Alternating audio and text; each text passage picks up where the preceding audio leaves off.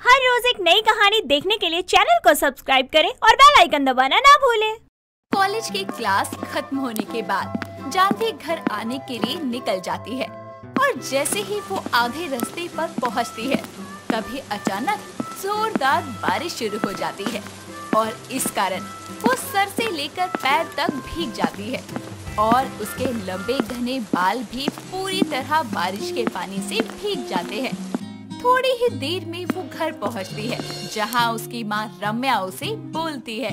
हाय राम, ये लड़की भी ना, अरे इतनी तेज बारिश हो रही है, किसी स्टैंड पर रुक जाती, थोड़ी देर, देख कैसे पूरे बाल गीले हो गए तेरे, अरे जुए पड़ जाएँगी। माँ, जब मैं कॉलेज से निकली तब तो बारिश हो ही नहीं रही थी, अचानक से आधे रास्ते में शुरू हो गई। हाँ हाँ सर्दियाँ शुरू होने वाली है ना, उसी का पैगाम लेकर आई है ये बारिश। जानवी जल्दी से कमरे में आकर अपने कपड़े चेंज करके अपने गीले बालों को तौलिए से सुखाने लगती है और थोड़ी देर बाद उसके सर में खुजली शुरू हो जाती है। ये देखकर उसकी छोटी बहन कुहू बोलती है क्या हुआ दीदी? आप इतना सर क्यों खुजा रही हो? जुए पड़ गई क्या? जुए? वो भी मेरे सर में। पागल है क्या? अरे मैं बारिश में भीग गई थी। उसी वजह से खुजली हो रही है। इतना बोलकर दोनों बहनें खाना खाकर सोने के लिए वापस कमरे में आती है और एक साथ सोने के कारण अगले दिन कुहू भी अपने सर में खुजली करने लगती है। तभी रम्या चाय लेकर अपनी बेटियों के कमरे में आती है और बोलती है, कुहू, जानवी, उठो, चाय पी लो। रम्या की बात सुनकर दोनों बहनें अपना सर खुजाते हुए बोलती है, गुड मॉर्निंग, माँ। क्या बात है? खाज खुजली की प्रतियोगिता हो रही है क्या? तुम दोनों एक साथ अपना सर खुजा रही हो। कुहू तेरे सर में तो जुए नहीं है?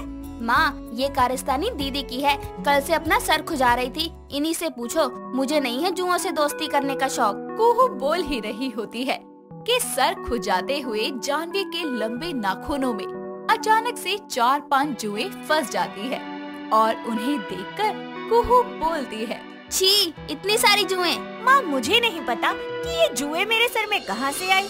जानवी बिना कुछ सोचे उन जुओं को बिस्तर पर फेंक देती है। ये देखकर उसकी माँ रम्या उसे सर पर एक थप्पड़ मारती है। तभी कुछ जुए रम्या के हाथों में भी लग जाती है जिसके बाद रम्या बोलती है इससे पहले कि ये जुए तहलका मचा दे जानवी। तुम मेरे साथ चल। रम्या जानवी का हाथ पकड़ते हुए उसे बाथरूम में लेकर आती है और रम्या बोलती है, कुहू, देख, मेरे बटुए में पैसे रखे होंगे। भाग कर जा और केमिस्ट की दुकान से मेडिकेयर शैम्पू ले आ और तू यही रुक, मैं भी आई। इतना बोलकर रम्या किचन में जाकर नारियल तेल और कपूर मिक्स करके लेकर आती है और जानवी के बालों में लगाती है और कपूर के तेल के कारण बालों में खुजली के जख्म पर जलन शुरू हो जाती है। और जानवी बोलती है। माँ, आपने मेरे बालों में ऐसा क्या लगा दिया? मुझे मिर्ची की तरह जल रहा है। माँ, मैं सर धो लू, प्लीज़। ज़्यादा ड्रामे मत कर। जब मैं तेरे जैसी थी ना तो मेरी नानी हर हफ़्ते मेरे बालों में कपूर और नारियल का तेल लगाती थी। माँ इससे जुओं से छुटकारा मिल जाएगा क्या? अरे, जुओं को मारने का ये रामबाण इलाज है, और अभी कुहू शैम्पू लेकर भी तो आ रही है, उससे बची कुची जुए भी समाप्त हो जाएँगी। माँ, ये लो, ले आई शैम्पू रम्या, जल्दी से जानवी की जुओं वाले सर को मेडिकल शैम्पू से अच्छी तरह धोती है, जिस कारण जानवी के बाल खिंचने और टूटने लगते हैं, और जानवी बोलती है, आउच माँ क्या कर रही हो? बाल टूट रहे हैं मेरे। अरे गंजा करोगी क्या? अगर तू आलसी नहीं होती ना तो आज तेरे सर में जुओं का खानदान इकट्ठा नहीं होता। अरे इतने लंबे बाल है तेरे। इन्हें हफ़्ते में कम से कम तीन बार धोया कर। क्या माँ? अरे दीदी हफ़्ते में एक बार ही बाल धो ले। वही बहुत है। महीने में तो सर धोती है। इसके बाल इतने गंदे हैं कि इन्हीं के कारण इनके सर में जुओं की सेना पल रही है। हाँ एक तो ये आलसी निकम्मी महीने में एक बार सर धोती है और वो भी ठीक से नहीं। अरे पूरा डब्बा लगा दिया इसके सर में फिर भी बाल चिप चिप कर रही है। माँ और कितनी बेइज्जती करोगी आप मेरी और कोहू तुझे मैंने एक चाटे में बेहोश न किया ना तो मेरा नाम भी जानवी नहीं। मेरी छोड़ो दीदी देखो तुम्हारे सर की जुएँ बेहोश हो गई होंगी। रम्या जल्दी से जानवी का सर वॉश करके जुओं वाली कंघी से सभी बेहोश जुओं को निकालती है। तभी रम्या बोलती है, जानवी, मैं कंघी से तुझे जुए निकाल कर देती हूँ। तू जल्दी जल्दी मारियो।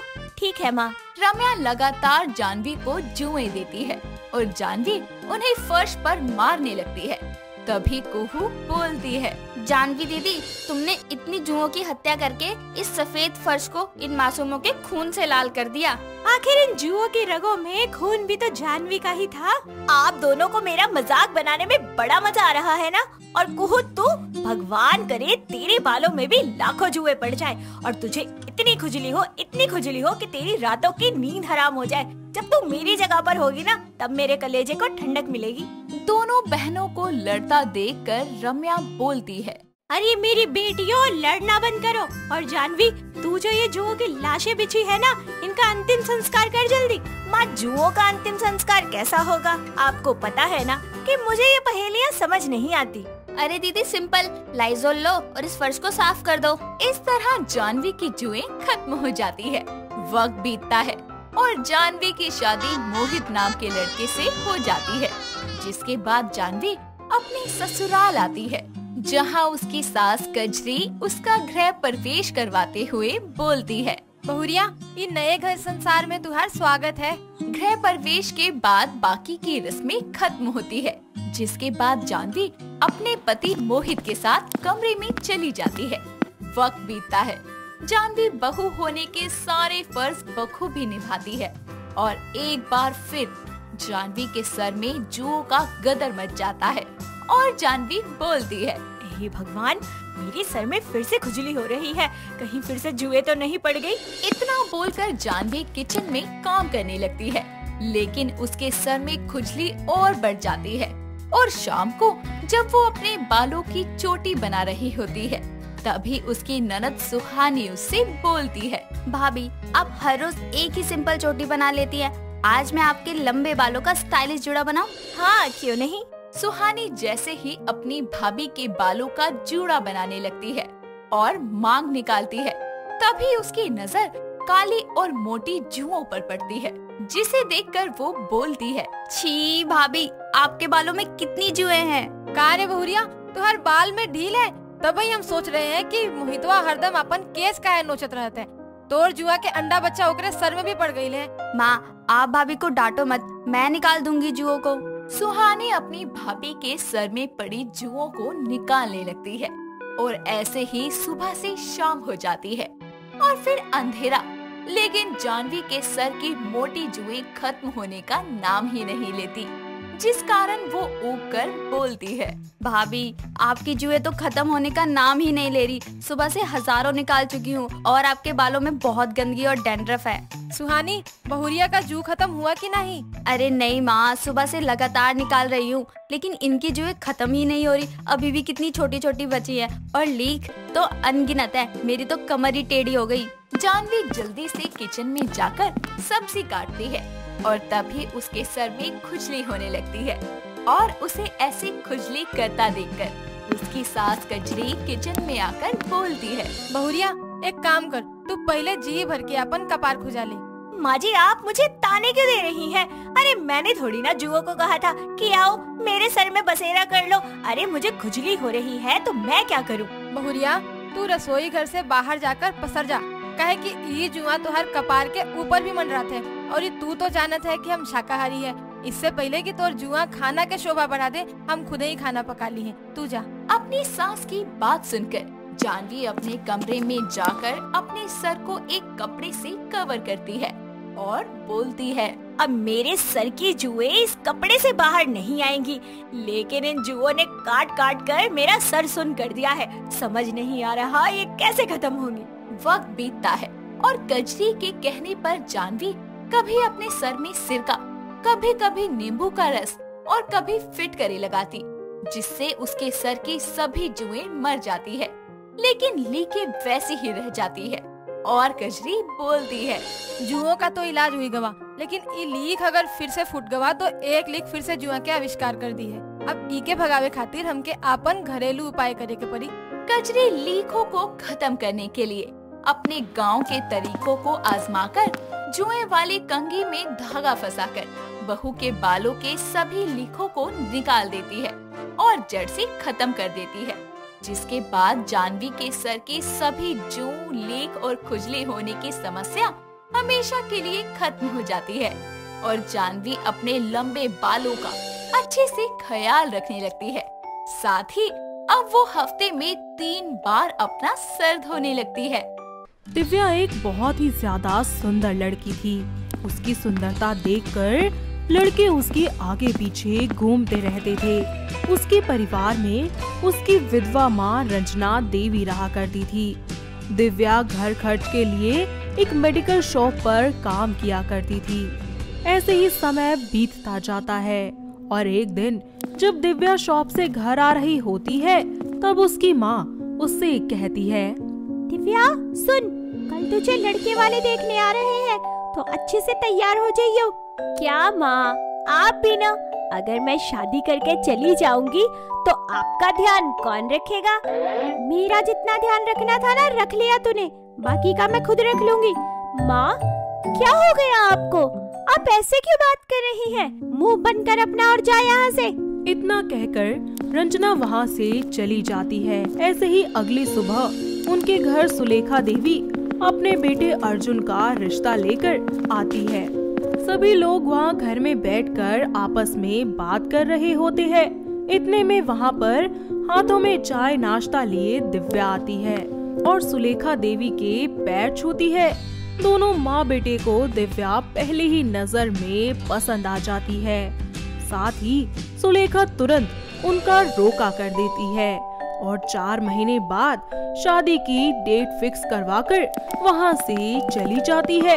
ऐसे ही समय बीतता जाता है और शादी का दिन नज़दीक आने लगता है। दिव्या के हाथों में दुल्हन की मेहंदी लग रही होती है। मेहंदी लगने के थोड़ी देर बाद दिव्या की माँ उसके पास आती है और उससे कहती है, दिव्या, मेरी बात ध्यान से सुन। हाँ माँ, बोलो ना। क्या बात है? शादी के बाद तू अर्जुन को अपने करीब नहीं आने देगी, समझ गई? पर क्यों माँ? आप ऐसा क्यों कह रही हैं? तू कोई आम लड़की नहीं, बल्कि एक किन्नर है। माँ माँ, आप मज़ाक कर रही है ना मेरे साथ? मैं कोई मज़ाक नहीं कर रही, यही सच है। और आज मैं तुझे तेरी सच्चाई बता रही हूँ। माँ, आखिर कब तक मैं सबसे अपना सच छुपाती रहूँगी? एक ना एक दिन तो सबके सामने मेरे किन्नर होने की असलियत आ ही जाएगी ना। मैं नहीं करूँगी ये शादी।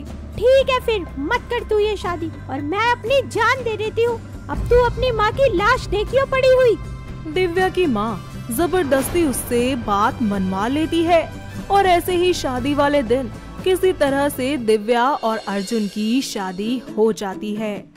ऐसे ही समय बीतता जाता है। और दिव्या अच्छे से अपने ससुराल की सारी जिम्मेदारियाँ बहुत ही अच्छे तरीके से संभाल लेती है। और ऐसे ही एक रात अर्जुन दिव्या के लिए एक शॉर्ट ड्रेस लेकर आता है और उससे कहता है दिव्या ये देखो मैं तुम्हारे लिए कितनी सुंदर ड्रेस लेकर आया हूँ। इसको पहन करके तो दिखाओ। जी ठीक है आप थोड़ी देर रुकिए मैं अभी पहन कर आती हूँ। दिव्या अर्जुन के लिए वो ड्रेस पहन कर आती है। जैसे ही अर्जुन दिव्या को देखता है वो उसे अपनी बाहों में उठा लेता है और उसको बेड पर लिटा देता है जिसके बाद वो दिव्या के करीब आता है। दिव्या उसे रोककर पीछे की तरफ़ हटाते हुए कहती है आ, आ, आ, अर्जुन जी रुकिए ना ये सब अभी नहीं फिर कभी। क्या मतलब है तुम्हारा? तुम मेरी पत्नी हो। मैं जब भी तुम्हारे पास आने की कोशिश करता हूँ तुम मुझसे दूर चली जाती हो। आ, जी आ, शादी से पहले जब माँ ने मेरी कुंडली खुलवाई थी तो पंडित जी ने मुझे कहा था कि मेरी कुंडली में दोष है और शादी के छह महीने तक अगर मेरा पति मेरे करीब आया तो उसकी जान को खतरा हो सकता है। इसीलिए प्लीज़ आप मुझसे थोड़ा दूर रहिए। अर्जुन दिव्या की बात मान जाता है और ऐसे ही हँसी खुशी प्यार से समय बीतता जाता है और एक दिन दिव्या के ससुराल में कुछ किन्नर आते हैं और वो सुलेखा देवी से कहते हैं हाय यही है तेरी बहू। बहुत सुंदर है। इसे तो हम अपने साथ ले जाएँगे। हे भगवान कहीं इनको पता तो नहीं चल गया कि मैं एक किन्नर हूँ। अरे साफ़ साफ़ बोलो।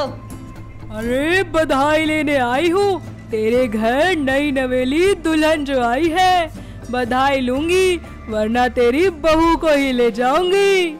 ये ले अपनी बधाई और अब जा यहाँ से। पता नहीं कहाँ कहाँ से मुँह उठाकर आ जाते हैं ऐसे लोग।